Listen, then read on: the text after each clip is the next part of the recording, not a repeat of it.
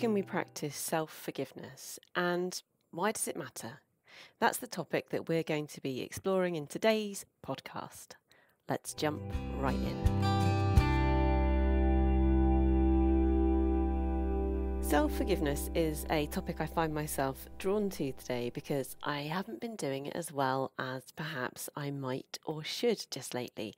We're going through a bit of a transition in our household at the moment as we move from school school to homeschool. And as somebody who teaches and talks and researches a lot in the area of emotionally based school avoidance and has spent many, many countless hours, in fact, teaching people how to enable their children to stay in school. I found this a slightly challenging transition personally to get my head around because I feel like I failed, if I'm perfectly honest. And I haven't. Objectively, I look at it, I'm making the right decision uh, for my daughter, and it's the right thing to do, I believe. But it's hard to get over that feeling of failure. And I hadn't voiced this until I met with my good friend Carl the other day, who's my climbing buddy. If you're listening, Carl, I don't think you do, but if you're listening, Carl, thank you for being such a good friend and such a great listener. Uh, he's my climbing buddy, but you know, also works in the field. So we tend to have some really, really good and deep conversations together when we're climbing. As I've said on so many previous episodes, doing alongside is a really, really great way to get talking and to get past the kind of difficulties of knowing where to go with those conversations and allowing silences to naturally happen and, and so on and so forth. So we climbed and we talked and yeah, I, I explained to Carl something which perhaps I hadn't quite addressed for myself that I felt like I'd failed.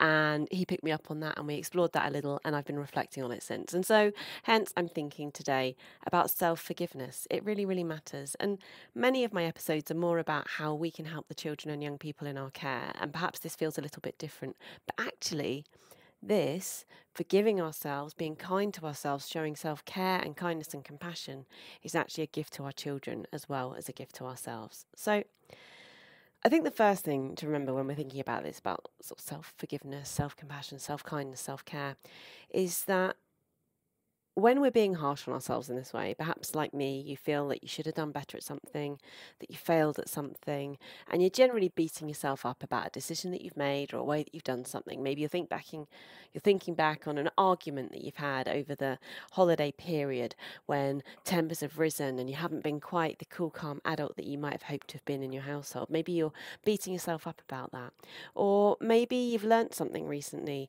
um, and in your research, in your learning, as your knowledge expands you look back and you think, gosh, I've always been doing this wrong. I wish I would have known then what I know now, and I wish I would have done things differently.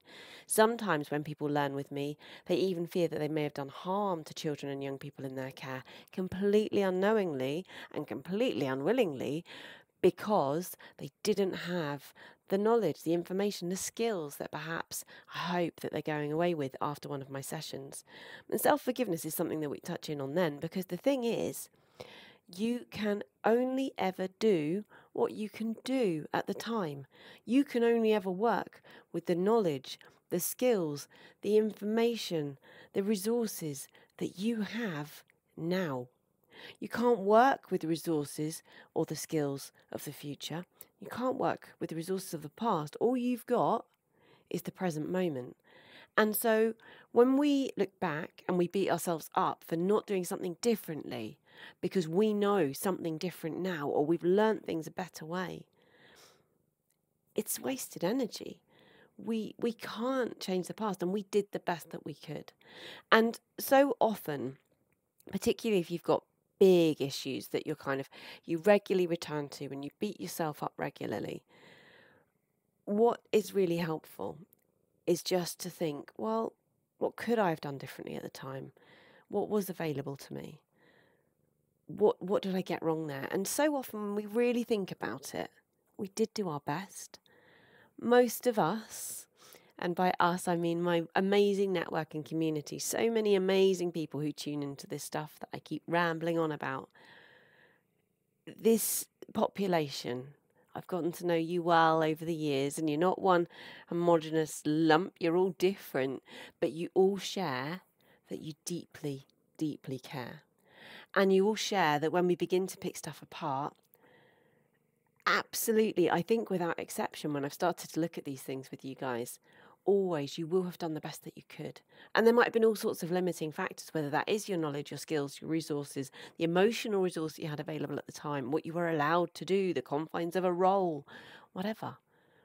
Those things may have stopped you doing, being what you might want to be or do now, but you did the best that you could.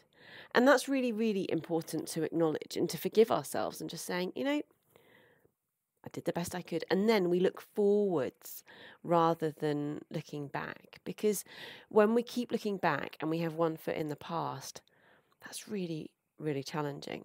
That leaves us with all these kind of big feelings that take up a lot of space guilt, shame, anger, sadness. These are all absolutely valid feelings. These are all things that we're allowed to feel. And we should feel those things sometimes and we should process them and explore them and get curious about them.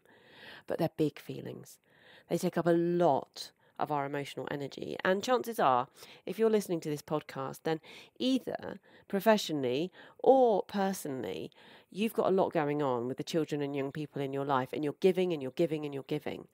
And that's amazing and that's absolutely laudable. But if you're filling up your head space, your emotional space, your ability to manage things with these big feelings about your past, things you can't change, then really that's slightly wasted emotional energy. My friend Joe, I have a lot of good friends. I'm really, really lucky. My friend Joe, who many of you will have heard me talk about before, uh, the, the, the post it note guy, if you've heard the post it note story. Um, my friend Joe, um, at one point, when I was going through, uh, it was a few years ago now, going through kind of beating myself up. And uh, we were in the lobby of where we worked. So he used to be my boss. And we were in the lobby and there were TVs on with the news playing. It was a kind of shared charity type space. There were TVs playing with like Sky News or something. Um, and it was, you know, one of those kind of constant news loops going on on the TV in the background. He just pointed up and he went, Right, so this, this war that's going on, How's that your fault? Because everything seems to be your fault. You seem to take the blame for absolutely everything. No one else is culpable. It's all down to you. So, how are you responsible for that on the TV? And of course, I wasn't, and I didn't feel I was, but I suddenly understood from his point of view how I was presenting to the world, like sucking up all this guilt, this shame, this blame from all these different things around me. And sure, things were pretty tricky at that time. This was when I was deeply struggling with eating disorder, suicidal issues, all sorts of stuff. It was prior to my um, diagnoses of autism um, and uh, complex PTSD, both of which I've had great support with since. Um, and things were really, really hard. And, and in particular, as a parent, I felt a lot of guilt because I didn't feel I could be the parent I needed to be. But I was then overgeneralizing that everything became about me and it being my fault, which is quite an egocentric and self centered way of looking at things, really. And Joe said to me that day, he said, It's a waste of energy. He said, You've got so much that you're investing here in terms of that emotional energy, and you're feeling really guilty about the parent that you're being to your daughters. Why don't you try, instead of using that energy up on anger, guilt, shame, and looking backwards, use that energy for love, kindness, care now? or for looking forwards into the future about how you want things to be and use it to motivate you for change, for moving on from where you are right now. But using it for looking backwards, that is a waste of energy. That is just throwing that emotional loose change down the drain. And I found that to be a really helpful, if quite harsh lesson. Sometimes we need quite harsh lessons because we don't hear them otherwise. So I was wasting that emotional energy. These are big feelings. They take up a lot of space and time in your head, and you only have so much capacity. So I suppose that's the thing I would say is that it can feel like maybe we feel like we deserve to be beaten up about this stuff. But if we've got other people in our life that we want to be able to give to and care for and uh, enjoy being with, then we need to create enough space to be able to do that. And that might mean actually practicing a little bit more self kindness, self care, self compassion, self forgiveness, and just kind of moving on from some of, that, some of those feelings. The other thing that I think we should think about is what kind of role model we're being.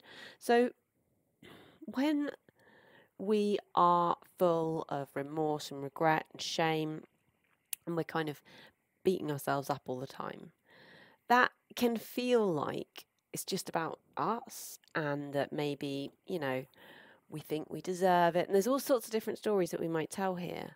But we don't live in a little box where no one can see and interact with us. We're part of our wider community and network. And we need to just think about what kind of role model we are when we're being awful to ourselves like that. Because what our colleagues see, um, particularly those who are more junior to us, and absolutely what our children see are ways that they learn of being. When they see us behave in a certain way, they learn this is an acceptable way to behave. Whether we are beating ourselves up for how we look, maybe you've got body image issues, and your kids, whether they're in your class or in your home, hear you, see you, looking at yourself and wishing you looked different and saying things about your weight or how you appear. Or maybe they observe you beating yourself up for not doing things better and feeling like a failure. And just the little ticks that we have each day where we kind of mean to ourselves. I have to watch myself on this one. I spend a lot of time going, oh, Pooky. And I tell myself off. But when my kids see me do that, when they see me beat myself up, what that tells them is it's okay to be unkind to yourself. And there's no way I would tolerate them being unkind to each other in the way that sometimes I can be unkind to myself. And so, if we don't want them to be unkind to each other, we certainly, certainly don't want our gorgeous, wonderful, lovely, most of the time, children to be beating themselves up. So, we need to just think what are we showing them? What are we telling them through our words and actions about how we treat ourselves? Instead, in an ideal world, we would role model self care, self kindness, self compassion. Think about how you want your children to be, how you want their lives to be, how you want them to feel about themselves, the relationship you would like them to have with themselves. That relationship is one you're going to have to role model. And that's hard. And maybe we need like a whole nother episode on actually how we practice self care, self kindness, and self compassion. Because today is about self forgiveness and trying to move on from the really tricky stuff. But moving on from that and then into this golden zone of actually being really nice to ourselves, well, that's that's quite a big, big leap and can feel very hard, particularly if you spent a lot of time beating yourself up uh, in the past. So let's today be thinking about how do we get to neutral and how do we try to stop beating ourselves up so much, or at least acknowledge that we should try. Self care, self kindness, self compassion. These are things we would love our children to live by. So we are going to need to show them how because they can't learn it if they don't see it. But we might go there another day.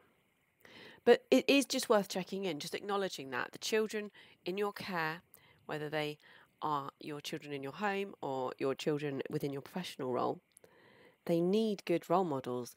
They need to see what good looks like if they're going to be able to achieve it. I mean, they might get there eventually, otherwise, they might see it through other people, less important adults in their lives. They might pick these lessons up from, they might kind of stumble there through some sort of journey of self discovery but they'll get there a lot more quickly and a lot more soundly if we show them and teach them the right lessons. And the other thing we need to remember is that as important adults in the lives of young children, lessons that we teach them now are lessons that are really hard to let go of. My husband and I were chatting about this the other day about how you so blindly take on the lessons that you hear and the lessons that you see and the things that you're told and shown by the adults in your life when you're very small. And it can take till now. I'm 40 and I find myself occasionally just picking myself up and questioning a very deep core belief that I'll have that's something that I learnt from an adult when I was like four, eight, ten, up to about that age.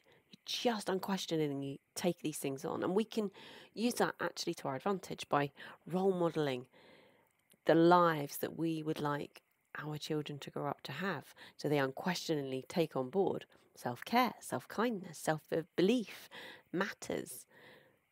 Or we can do the other thing and show them that it's okay to beat yourself up. It's okay to be unkind to yourself. It's okay to sit and dwell in these feelings of shame and anger and sadness. We can kind of choose a little bit here. And it doesn't always feel like a choice because sometimes we're overwhelmed. And if you find yourself really overwhelmed with all these big feelings and you're thinking, okay, Pooky, I get what you're saying, and now I feel guilty because I can't move on from the guilt and the shame, this is the point at which we then need to think, where can we go to start to unpack this?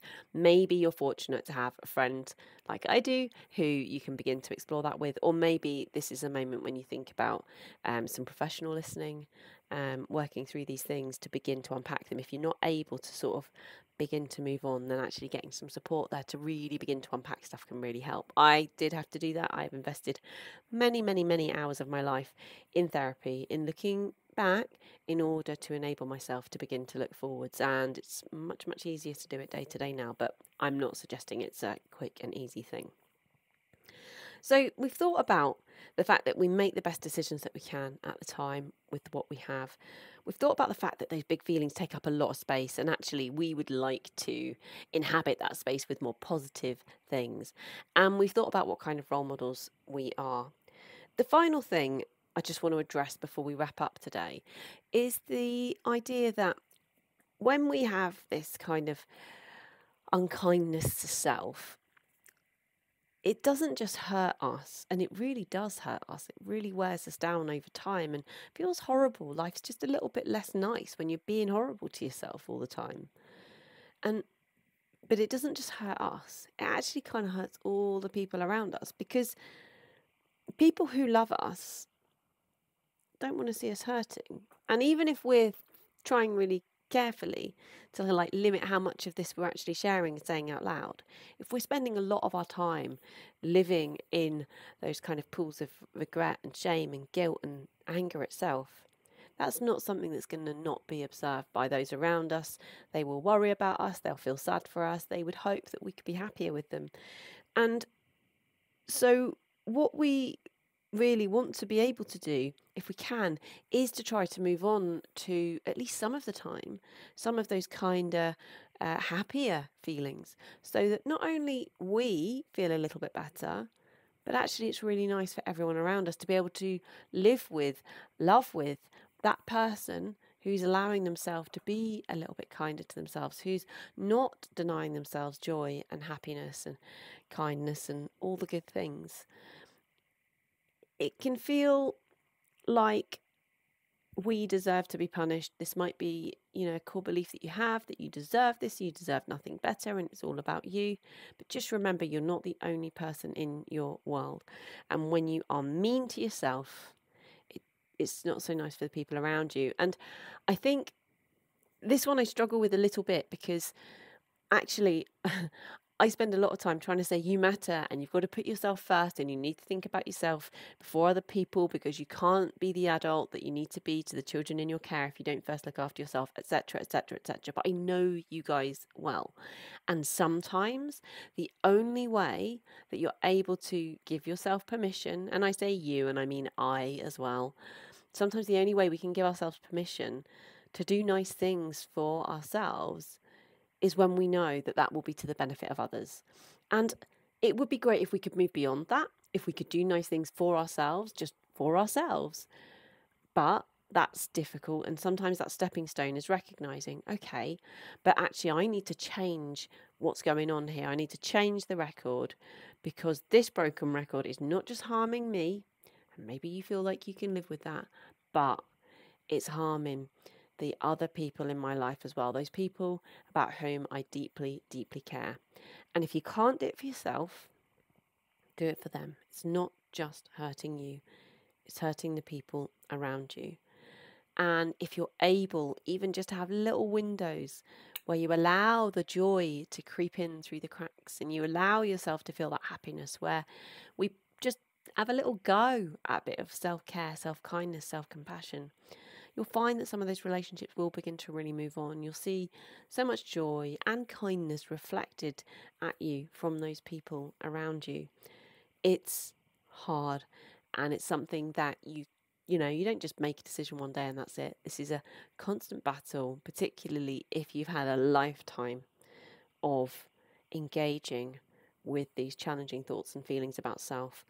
But like many hard things, it is a battle that's really, really, really worth fighting. And my sort of top tip here, I suppose, is just to become a bit more mindful about the thoughts that are passing through your head all the time.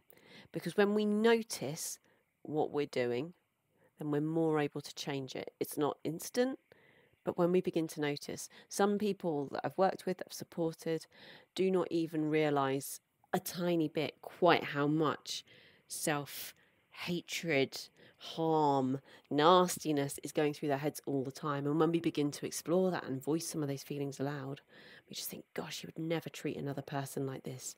Try, please, to treat yourself a little bit more as you would your child or your friend or your dog. Be a little bit kinder. So start by noticing and getting curious about where did that come from? What's an alternative? Or my favourite from good old Matt, my therapist, what's the evidence for that thought? I find that as a scientist, I find that the most helpful question. What's the evidence for that thought? And is there an alternative explanation? And you know what? There's usually very little evidence other than sometimes something I'm carrying around from a very abusive relationship in the past. That's not evidence. That's conjecture from someone who does not deserve space in my head. Um, so there's often not actually any good evidence because we've got to be critical consumers of our evidence. And there normally is another way of thinking if I'm prepared to look for it. So, to wrap up, I think we can think about aspiring to how we would like to feel. So, thinking about this in the round, thinking about, okay, let's try and move towards practicing a bit more self forgiveness, being a bit kinder to ourselves. We want to make life feel not just better for ourselves, but for those around us, and to use our emotional energy on the good things rather than wasting it on the big, challenging, horrible stuff. We'll do a little bit of that sometimes, we need to, but largely we want to spend ourselves in the here and now doing the good things. And a way of doing that is to think, okay, how do I want this to feel? To spend a little bit of time going there, imagining it, wondering about it, exploring it, being really curious about it, and then trying to act as if. Acting as if is such a powerful thing to do because we can't necessarily change everything right now, but we just ask ourselves the question okay, if I wanted to feel like that, what would that look like? How would I act if I felt like that.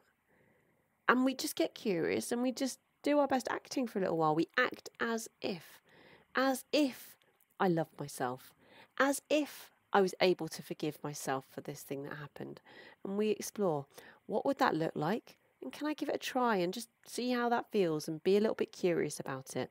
And don't just be curious about how it feels for you.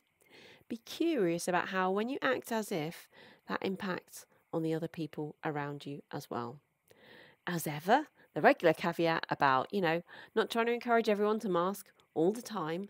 This is a little bit different. This is about trying to connect with a different part of self.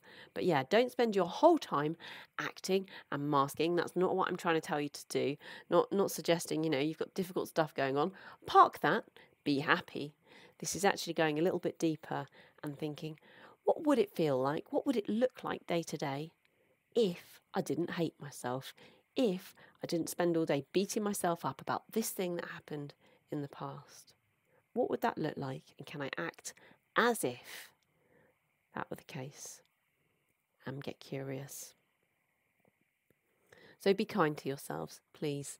Thank you so much for listening in. I hope there was something here to make you think. A little bit of a different exploration today, thinking about ourselves a bit more. But as I said at the beginning, it's really not just about ourselves. This impacts so much on those around us as well. And we can be good role models to them, and lives get better. Life gets better for them as it gets better for us. But you know what? It is okay to invest a little bit in ourselves, just for ourselves too. Good luck with it. I'd love to hear how you get on. And if you have any tips or ideas for exploring these ideas around self kindness, care, and compassion, and drop me a line on the socials if you would like an episode around self care and kindness and exploring what that really looks like and going deeper there. I think that could be a really interesting one to explore if you're up for it. Okay, until next time, over